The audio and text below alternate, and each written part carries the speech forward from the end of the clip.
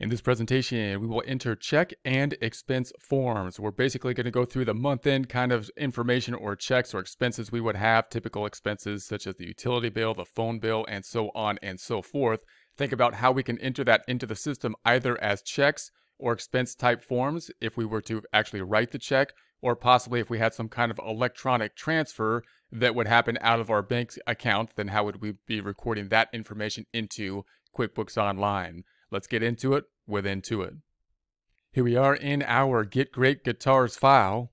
We're going to jump back over to the desktop version just to consider the flowchart as we enter these expenses. We're going to be entering the standard kind of expenses here, and there's a few different ways that we can do this. So first of all, we could enter the expenses for things like the phone bill, the utility bill, and so on and so forth into something like a bill, which could be useful, and we'll do this in the second month of operations. We'll practice this procedure in the second month we can in essence insert the bill item here, which will increase the accounts payable, and then the other side will typically go to an expense, and then we can actually pay the bill, which would uh, be paying off the bill, decreasing the checking account and decreasing uh, the expense.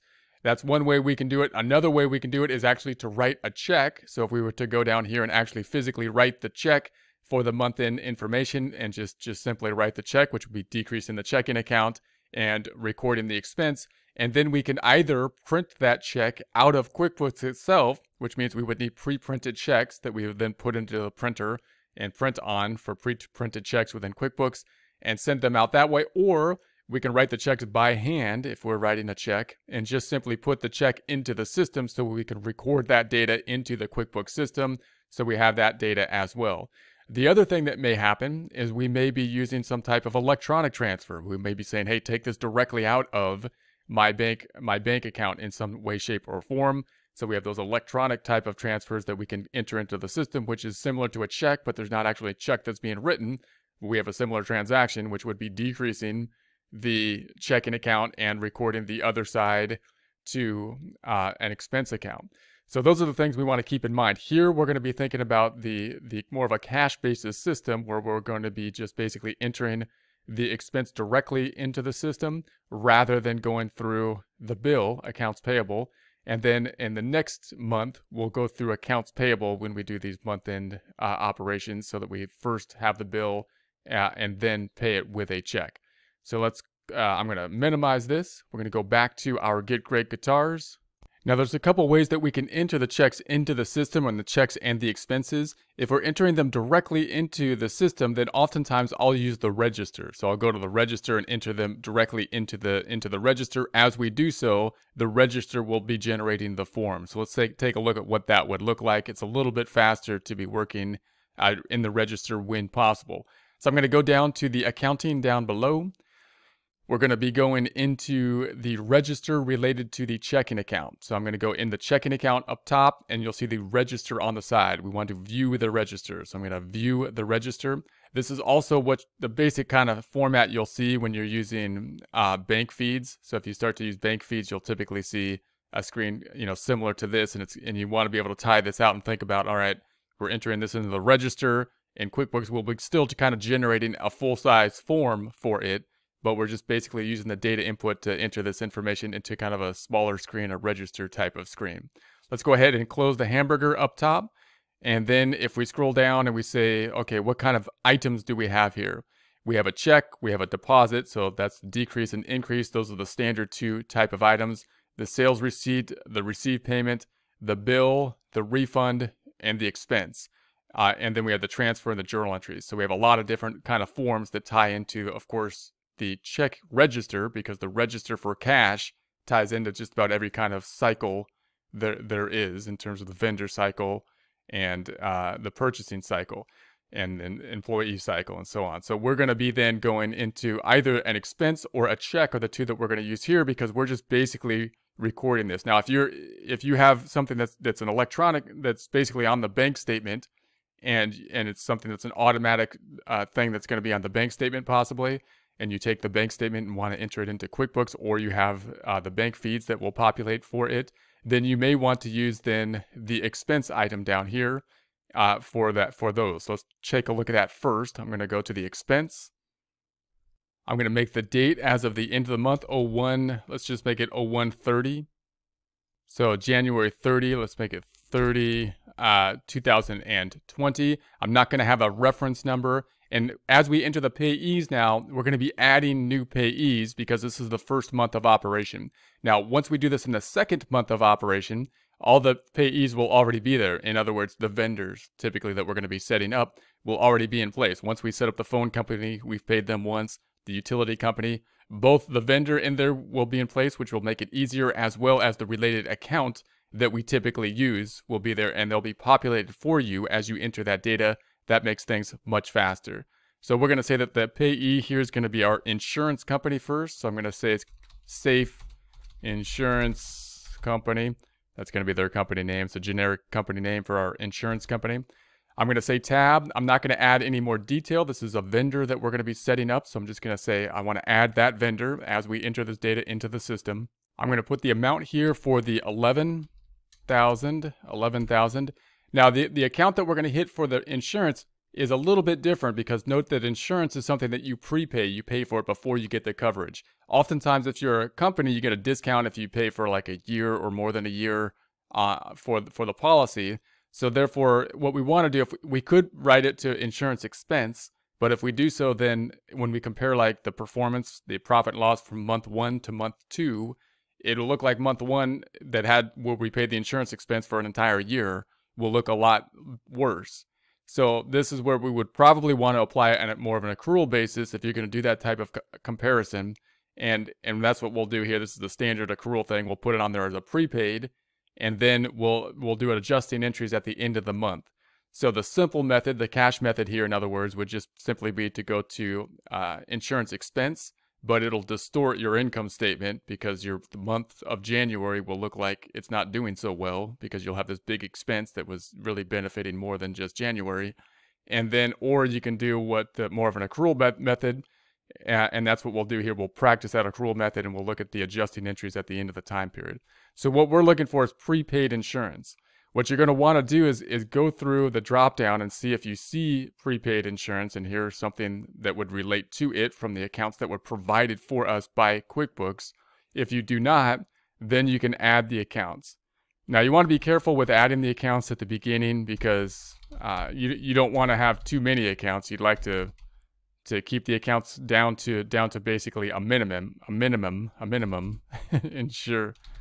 And so you don't want to have duplicates. So when you first start to set up the accounts in the first month, just be careful that you, you set up the accounts that you need. And then in the second month, more and more, you shouldn't need to set up any new accounts because you'll just use the same accounts there and you'll be consistent with the same accounts that you set up in the in the first months as you first start a transaction with any new vendor. So I'm going to say tab and then it's going to ask us to set it up. Now, it's important to get the account type right. Most of the time, if it's going to be an expense, the account type is going to be an expense. Type, uh, it's going to be an expense type of account. But this time, a little different. We're going to put it into prepaid because this is this is something we paid for that's going to be benefiting multiple periods into the future. So we're looking for a prepaid item, and that's going to go into other current assets. So we're going to say other current assets, and then in the detail, we want to have the prepaid expenses. Now, I wouldn't put the prepaid expenses over here because I like to list out what type of prepaid expense we have. So the account type is going to be prepaid insurance. That's more specific on the type of prepaid. Again, you don't want to use any beginning balances after you first set up the account. So I'm not going to do anything to the beginning balances down here. We're going to say save and close them. So there we have that one. I'm going to record it. Now, what's this going to do? Obviously, it's going to be decreasing the uh, checking account, and the other side is going to be going to the prepaid account, which is an asset. Let's go ahead and, and see that. I'll right click on the tab up top and duplicate the tab up top. And then I'll go back to the left, and then I'm going to save this one. We're going to save it.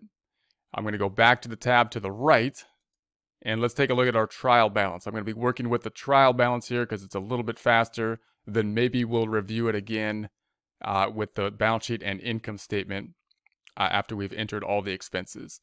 So I'm going to go down to the accounting. We're going to be taking a look at the TB. Uh, I'm sorry, bound to reports. Then we're going to be taking a look at the TB or the trial balance. So I'm going to type up top trial balance because they put the trial balance way at the bottom. I don't want to scroll all the way down there. So we're going to open up the trial balance and then we're going to change the dates from 010120 to 123120. Then we're going to run that report, close the burger, the hamburger, and then if we see the checking account, selecting the checking account, then scrolling down, we see our check here. So the check is decreasing. There we have that. Notice it's using an expense type form. So in other words, if I was to click on the form, it's an expense type form, uh, which is kind of like a check form, but you know, similar format, except it's not a check. You know, you know, it's some other type of transfer that went in, possibly an auto transfer that that doesn't have a check number, and there it is, but it looks like a check form.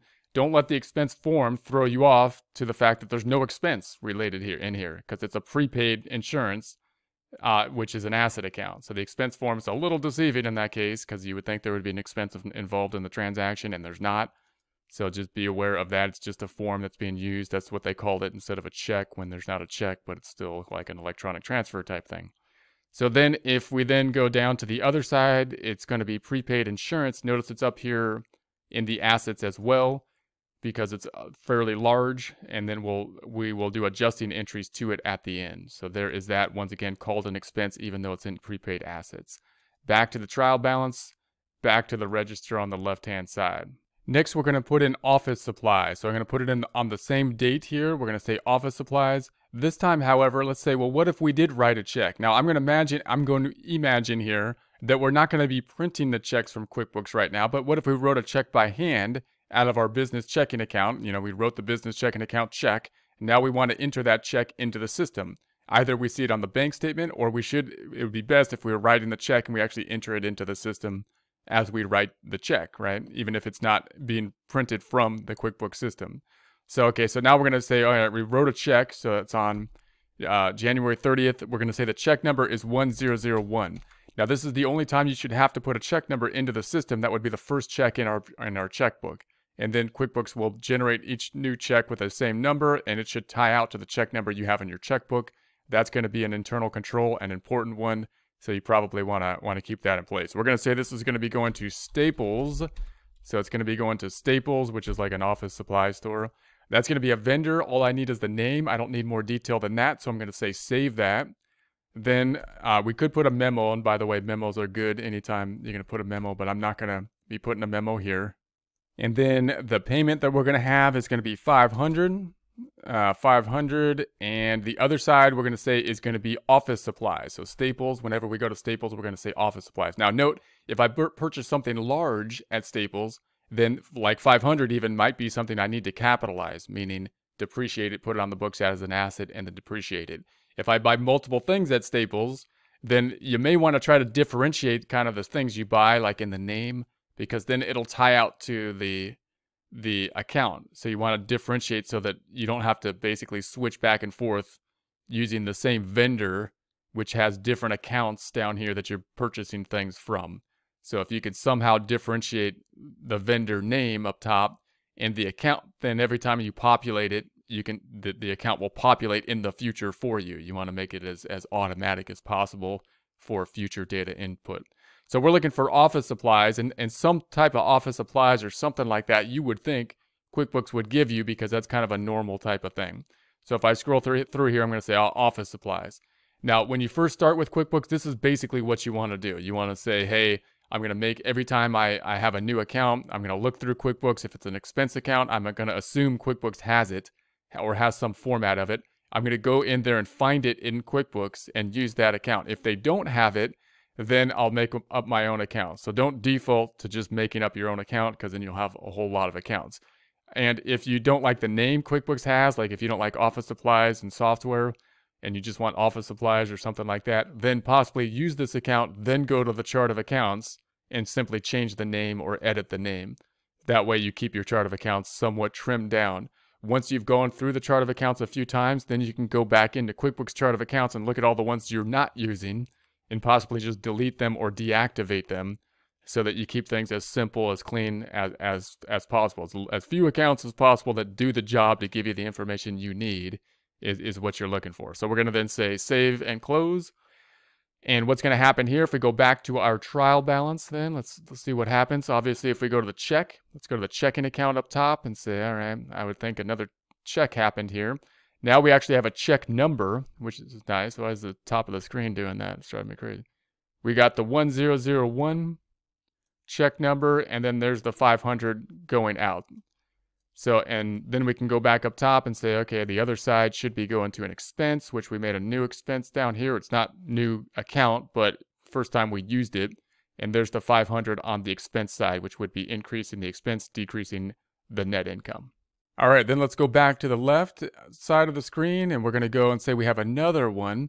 And this time I'm going to say this is Edison, which is our electric company.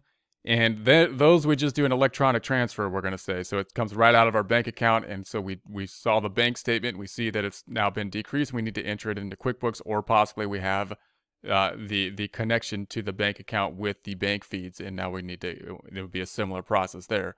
So I'm going to use then an, an expense type of form because I don't need a check number. So I'm going to use an expense type form. And then we're going to say that the payee is going to be Edison. First time we've paid Edison, so we got to type it in there and um, add it. That's our again our utility company, electric. So I'm going to say save there. Memo, I'm not going to put a memo and note that in the memo you could put like, you know, the the period that the, that the bill was covered or the bill number or something like that would be useful. So any any added information that can tie things out is useful there. And so, but we're not going to do it in the practice problem. So it's going to be for 620, we're going to say. And then we have to pick the account on the dropdown. Again, I'm going to assume that QuickBooks has set up some type of account already. If it was the second month of operation, the account would populate all automatically for us. Now, note that if you if you deal with something like uh, Edison, the the uh, electric, it's kind of common practice to put it into utilities like electric and gas.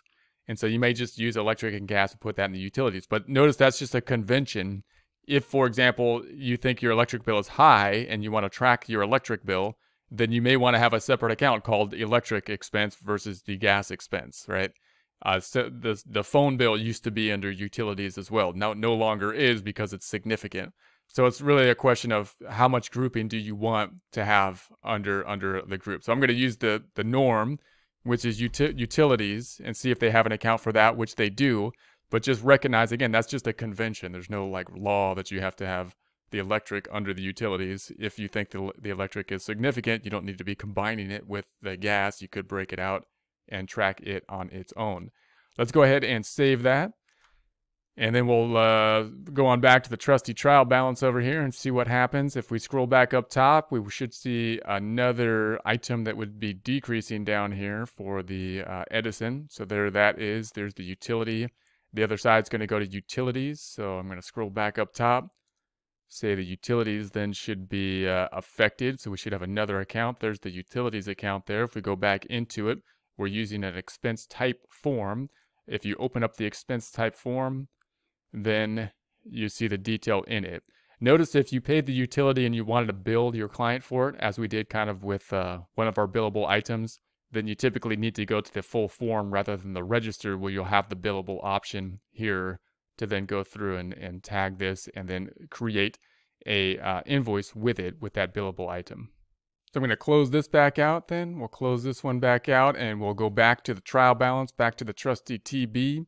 Going to go back to the first tab where our register is. Next one's going to be Verizon. So I'm going to keep that as an expense. It's already on the expense type form up top in our register. So I'm going to keep that. I'm going to say this is on 130 as well. And we'll tab through this. And Verizon's our phone company. So I'm going to say Verizon, V-E-R-I-Z-O-N. I think that's how you spell Verizon. And then tab, we're going to add the phone company. Going to say add that, save that. Now again, I'm imagining here as we do this data input, that this information is on the bank statement. It's electronic transfer, and we're basically looking at the bank statement and say, okay, what have our expenses been? Or taking a look at our, our bank account online or having the feeds to tell us what our expenses have been because it's going to be an electronic type of transfer, or else we called it in possibly with the phone and said, hey, you know, take this out of our bank account. And, and so now we're going to record it as an expense type form in here. Again, the memo would be good if you can if you can reference to the bill or the or the period covered. I'm not going to do it here, however, then we'll have the payment. So I'm going to make the amount, this one for 360. So we're going to say 360. And then we're going to choose the other account. This is our telephone company. So once again, I would expect that QuickBooks would have something called telephone expense or something like that because that's typical. You could group it under utilities. It used to be like a long time ago, kind of the convention. Now it's not because it's significant. Most people will, of course, break out the telephone uh, expense. Uh, and notice you could even have, I mean, some companies may have multiple, you know, telephone expenses that they want to that they want to break out as well. They could have telephone expenses by different regions, and you might want more detail in terms of the telephone expense depending on the industry. And I'm kind of shocked that QuickBooks didn't give us a telephone default account here. I've tried to type it in and I've and I've gone through here to see one and I don't see a telephone expense. So it's kind of unusual. I would think that's a little unusual, but it is what it is. So I'm going to actually add the telephone expense because I would rather have telephone broken out separately rather than add it into utilities. So I'm going to say telephone and you could put expense. It's prob probably repetitive, but I'm going to put telephone expense as the account name. Why is it repetitive? Because it's also typically the account type. So if I select the account type, it's going to be an expense account. So it's a telephone expense expense account type. So, and then the sub account, I'm going to say the sub account is going to be something like, uh, is there utilities? I'll put it into utilities. And then it's going to be the name, however, will be the telephone expense. So then I'll say save and close. Uh, note how note that this is also an area where you might want to use those sub accounts. You could say, hey, if I want to break out different telephone by region, then you can have a parent account for telephone and then the regional accounts that you have the different bills at possibly. Or if you want to say, I want an overall utility line item, then breaking out the telephone, utility, and ga- telephone, gas, and electric under that. That's another way you, that you can format this that would simplify your income statement if when you want to by minimizing those accounts to, to not show the sub accounts or to show the detail for it with those sub accounts. So I'm then going to say uh, save. Let's go then to our uh, trial balance on the right, see what happened there. If we go to our checking account up top and uh, scroll on down, we should have a telephone expense then down here for Verizon. So there's Verizon 360. Going back up top, going back to our uh, reports, scrolling down, we should then have telephone expense. There it is at the 360. Now let's take a quick look at, at, what this would look like on the financial statement. So if I right click up top and I duplicate this form, we're going to open up our balance sheet and our income statement. So then I'm going to go to the to the reports to the left and I'm going to go to the uh, reports. Let's go into the reports and we want to take a look at our favorite reports, that being the balance sheet report first. And we'll open that up. We'll change the dates up top. So I'm going to change the dates from 010120 to 123120. Then I'm going to run that report. Then I'm going to duplicate the, the tab again. We'll open up our income statement or profit and loss report. So I'm going to duplicate the tab again, go back to the reports on the left, back to the reports and we'll take a look at our profit and loss report. So we're going to open up our P&L profit loss income statement report. Changing the dates up top from 010120 to 123120. Then we'll go ahead and run that report. All right, let's go back to the balance sheet and take a look at it first. I'm going to close the hamburger. Going to make this a little larger, holding down control and scrolling up. Now we know that of course the checking account is up top. So we saw that on the trial balance. That's going to be under the asset accounts.